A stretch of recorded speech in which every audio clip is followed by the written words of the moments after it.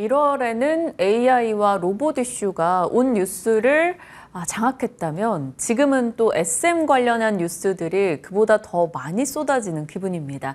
SM을 두고 하이브와 카카오 그간의 경쟁이 굉장히 치열하게 진행되고 있는데요. 그 가운데 어떤 전략을 취해야 될지 우리가 좀 주목할 관전 포인트는 무엇일지 많이들 궁금하실 겁니다. 그래서 이분을 모셨어요. 현대차증권의 김현용 수석 연구위원 자리하셨습니다. 어서 오세요. 네, 안녕하십니까. 언제쯤 와주실까 기다렸습니다. 아, 예, 불러주셔서 감사합니다. 아, 저희가 감사하죠. 자, SM 경영진이요. 카카오 2대 주주로 내세우자 또 이수만 네. 프로듀서가 하이브의 손을 내밀었고요. 하이브의 공개 매수 전쟁 막을 올렸습니다. 네. 그러다가 SM의 주가가 연초 8만 원에서 지금 12만 원까지 와 있어요. 네. 아, 이제 앞으로 어떻게 전개가 될지 지금의 가장 좀 주력해서 봐야 되는 관전 포인트가 뭐예요? 일단은 이제 하이브가 이제 이수만 전 총괄의 지분 14.8%랑 공개 매수까지 해서 39.8%를 확보하기로 한 시점에서 이미 카카오 대비 많이 유리해졌었던 게 사실입니다. 네. 그런 와중에 또 이제 길지 않은 시간 안에 또 카카오가 대응을 하고 있다라는 뉴스 보도가 되면서 지금 카카오 측도 이제 좀 추가적인 이제 공개 매수 맞불이죠. 맞불 작전을 놓을 가능성이 높아졌다라는 얘기가 돌면서 일단 SM 주주 입장에서는 소위 말하는 이제 꽃놀이패라고 하죠. 그래서 일단 하이브가 12만 원 정도의 주당 가격으로 공개 매수를 지금 진행 중에 있고 이런 가운데 추가적으로 어 다른 이제 지분을 확보하기 위한 다른 주주의 공개 매수 가격은 12만 원보다는 당연히 더 높을 가능성이 있거든요. 그렇죠. 그래서 이런 부분들 때문에 SM의 주가는 단기적으로 상당한 우상향 압력을 계속적으로 받고 있는 상황입니다. SM 주주들이 부럽다라고들 이제 많은 커뮤니티에서 글이 올라오긴 합니다. 네. 아, 일단 하이브 입장에서 좀 들여다보죠. 사실 카카오나 하이브나 이번 상황에서 1조 이상, 뭐 적어도 1조, 많게는 3조, 뭐 이렇게까지 돈이 쓰일 수 있다 보니까 상당한 부담인데 네. 아, 앞으로 하이브 입장에서 이제 차질이 생기진 않을 것인가 좀 주의사항이나 뭐 쟁점 포인트가 있을까요? 일단은 하이브도 카카오도 이 SM을 인수할 만한 재무적인 여력 이런 측면에서는 어, 가능하다. 예, 뭐 아주 여유 있어서 하는 건 아닐지언정 네. 충분히 재무적인 여력은 있습니다. 다만 이제 하이브 입장에서 걱- 걱정이 되는 부분은 카카오 측에서 지금 이제 9.05% 지분은 확보를 했거든요. 이런 상황에서 추가적인 공개 매수 플러스 지금 현재 주주 구성을 보시면은 이제 이 우군들 네. 우군들에 해당하는 기관 투자자의 지분을 대거 이제 블록딜 방식을 통해서 매입을 하게 될 경우에는 지분율을 30에서 35%까지도 확보를 할 수는 있거든요. 이론적으로는. 그렇게 되면은 하이브가 확보하기로 한 39.8%를 다 확보하는데도 약간은 차질이 생길 수 있습니다. 추가적인 공개 매수 가격을 더 높이거나 그렇게 대응을 한다면 주주 입장에서는 더 높은 가격의 공개 매수 가격을 제시하는 쪽에 어, 자기 지분을 팔 거거든요. 그렇게 되면은 이 지분율 경쟁에서 하이브가 상당 부분 유리한 건 맞지만 압도적으로 승기를 잡았다라고 하기에는 또 약간 이제 어려움이 있거든요. 예, 그런 부분 때문에 하이브 입장에서는 카카오의 대응을 어떻게 좀 맞받아 치느냐 네. 이 부분이 가장 중요한 관전 포인트가 되겠습니다. 사실 처음에 하이브가 공개 매수 얘기 꺼냈을 때만 해도 네. 아, 하이브가 완전 승기를 잡았다. 그렇죠. 네, 이런 예. 느낌이었는데 네. 또 하루 이틀 사이에 상황이 좀 달리 진행이 됩니다. 네. 어, 카카오 입장에서는요. 카카오는 카카오 엔터를 위해서 네. 이만한 돈을 들여갖고 여기다 물어다 주면 네. 어, 뭐 카카오 엔터와 SM의 만남, 엄청난 시너지, 네. 그래서 IPO까지 잘 이뤄내겠다 뭐 이런 그림을 그리는 거잖아요. 맞습니다. 아, 근데 이게 차질을 빚게 되면 카카오는 어떻게 돼요? 그래서 일단은 이제 뭐 항간에서는 카카오 엔터가 만약 이제 SM의 지분 인수에 실패하게 될 경우 뭐 다른 엔터사를 살 수도 있다. 막 큐브 엔터 거론됐어요. 네, 맞습니다. 그렇게 이제 그런 소위 말하는 떠도는 얘기들도 있지만 큰 골격에서 본다면은 카카오 엔터의 IPO에 있어서 value를 up시키기 위해서 상당히 중요한 것 중에 하나가 바로 케이팝이라는 거죠. 그래서 카카오 엔터의 매출 구성을 보시면은 케이팝이 있고 드라마 영화 쪽이 있고 웹툰이 있습니다. 근데 웹툰이나 드라마 영화는 최근에 많이 거론도 되고 있고 카카오 엔터가 많이 올라왔구나라는 느낌 받으실 텐데요. 케이팝 쪽은 아무래도 아직은 뭐 아이브, 몬스타엑스 같은 소속 아티스트들이 있기는 하지만 전체적인 볼륨이나 영향력 측면에서 좀 상대적으로는 여류에 있었던 게 사실이거든요. 그러니 SM이 필요하죠. 그래서 이 부분을 보강하기 위해서 K-팝 기획사를 좀 큰 거 하나를 M&A 하는 부분을 고려를 하고 있었던 것입니다. 근데 만약에 실패하게 된다면 뭐 상장까지도 뭐 제대로 평가받지 못하게 되고 이렇게 되나요? 사실 그 부분을 많이 질문을 하시는데요. 네. 만에 하나 이번 이 SM 딜에서 카카오가 뭐 drop을 하거나 또는 실패를 하게 된다고 하더라도 카카오 또는 카카오 엔터테인먼트의 주가에 단기적으로는 조금 출렁임이 있을 수는 있겠죠. 음. 하지만 방향성에 있어서는 차질이 없다라고 말씀드릴 수 있어요. 어. 왜냐면은 일단 카카오 엔터 측에서 본다면은 다른 그러니까 엔터 사업을 키울 수 있는 다른 방법도 있고요. 또 하나 엔터보다는 드라마 영화나 웹툰 쪽의 매출이나 이익 비중이 절대적입니다. 80에서 90%를 K-팝 외 비즈니스가 차지하고 있거든요. 그렇기 때문에 이 SM 딜의 어떤 실패로 인해서 이 부분이 카카오 엔터 IPO에 뭐 바로 부정적인 어떤 직격탄을 준다거나 그런 부분은 아닙니다. 다만 카카오 측에서는 다른 방안을 모색하겠죠. 웹툰 쪽이 됐든 드라마 영화 쪽이 됐든 또는 다른 엔터사를, 에이전시를 네. 인수하는 여러 가지 형태로 카카오 엔터테인먼트의 IPO의 value를 최대화하는 그런 방안을 어, 적극적인 딜을 통해서 풀어낼 것으로 항상 카카오가 그렇게 해왔거든요. 예.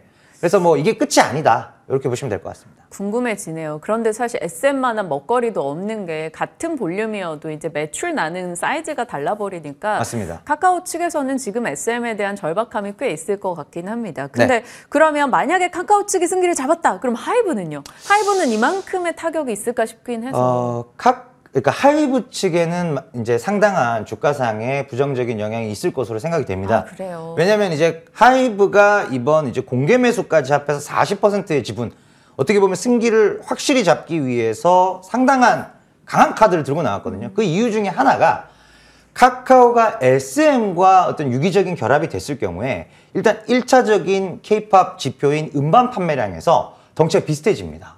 하이브 입장에서는 카카오와 SM의 결합만큼은 어떻게 음, 막고 보면은. 막고 싶은 그런 부분이 있죠. 그렇기 때문에 만에 하나 카카오와 SM이 연합 전선을 구축하게 된다면 하이브 입장에서는 자기와 비슷한 사이즈의 엔터사가 하나 생기는 거기 때문에 하이브의 주주 또는 잠재 투자자 입장에서는 하이브의 어떤 절대적인 시장 지배력이 약화될 수도 있지 않을까라는 우려가 이제 주가에 반영될 가능성이 높습니다. 재밌어요. 이게 남일이라서 네. 재밌습니다. 네. 정말 팝콘각이라고도 표현하는데 딱 그 느낌입니다. 어, 살짝 들어왔다가 쏙 들어간 게 CJ예요. 네, CJ 맞습니다. 측에서 여기 뛰어든다라는 얘기가 있었다가 곧장 사실 무근이다 이렇게 해버렸는데 네. 어, 이거 그냥 단순 지나가는 코멘트 해프닝일까요? 아니면 가능성이 있을까요? 일단은 CJ가 이제 작년 하반기 처음 이제 최대 주주 지분이 매물화 됐을 때도 상당히 유력하게 거론이 됐었던 회사고요. CJ도 이제 자회사 CJ ENM을 통해서 엔터 사업을 상당히 빠르게 확장하고 있거든요. 그래서 충분히 개연성이 있는 이야기가 이제 시장에 흘러나왔고 일단은 부인으로서 일차적인 진화에 나섰지만 카카오가 사실 이제 지금 SM의 주당 가격이 많이 높아진 상황에서 공개 매수를 만약에 추진한다면 한간에 도는 얘기처럼 만약에 추진한다면 그 비용이 이제 어마무시하게 올라가거든요.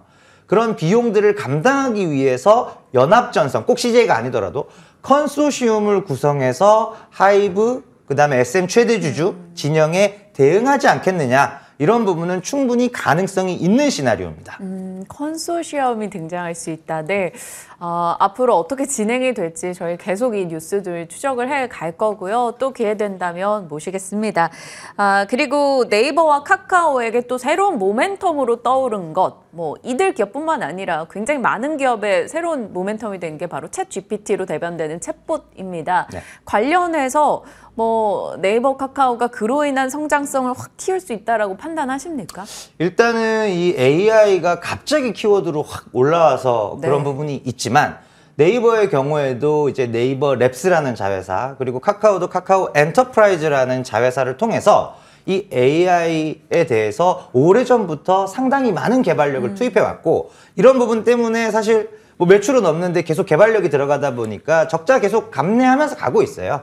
그럼에도 불구하고 네이버와 카카오는 이런 AI와 같은 최신 기술과 최전방 접점에 있는 회사임과 동시에 또 기존의 광고나 commerce 같은 소위 말하는 cash cow를 가지고 돈도 global peer group들 대비는 잘 번다라는 게 이번 4분기 실적에서도 거듭 입증이 됐거든요. 그래서 이 네이버와 카카오, 우리나라의 big tech 대표 선수들은 사실은 꾸준히 모아가면서 점진적으로 우상향하는 그림. 이런 부분들은 주가 상으로도 여전히 유효하다고 판단하고 있습니다.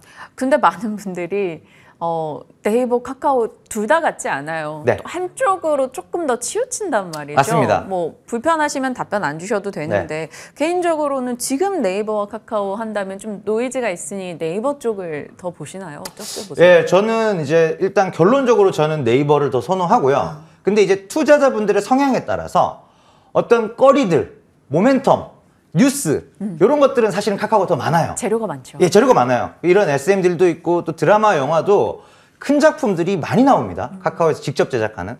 그런 모멘텀들을 내가 변동성을 좀 견디더라도 그런 게 좋다. 그러면 카카오로 가시면 되고요. 아, 나는 매일매일 이렇게 news flow 체크할 자신도 없고, 그렇지만 big tech 쪽 좋게 보고 있고 수익률을 좀 어느 정도 추구하고 싶다. 그러시면은 네이버로 가시는 게 좋을 것 같습니다. 네, 오늘 의상도 노란 쪽보단 초록 쪽에 가깝게 입고 네. 오셨는데 저도 그렇고요. 아, 뭐 성향에 맞게 선택을 하는 거겠죠. 엔터 쪽 얘기도 살짝만 첨언 부탁드리고 싶은 게 네. JYP 엔터가 그렇게 막 안정적이고 재무도 탄탄하고 큰 변수가 없고 이래서 어, 외국인들이 꽤나 많이 사랑한다 뭐 이런 얘기 많이 들리잖아요. 네. 엔터사에서도 연구원님께서는 뭐 이런 안정적인 쪽을 좀 추구하시는지 좀 더 재료가 많은 쪽을 보시는지. 일단 저는 이제 엔터 업황 자체는 뭐 이제 엔터업으로만 봤을 때는 JYP가 올해도 가장 높은 성장률을 기록할 것으로 예상이 되고 있고요. 다만 이제 투자자분들이 한 가지 유념하셔야 될 부분은 현재 하이브가 뭐 PER 40배 이상 또 JYP를 비롯한 나머지 엔터 3사도 30에서 35배 정도 구간에 valuation 부담이 어느 정도 있는 상태에서 올해 23년도의 시장 성장률은 22년보다는 다소 내려올 것 같아요. 그래서 엔터 외에 다른 비즈니스도 있는 딱 하나 떠오르시죠. 하이브가 다른 3사보다는 좀 더 안정적이면서도 주가 상승. 사실 주가 많이 빠졌었잖아요. 네. 하이브 혼자.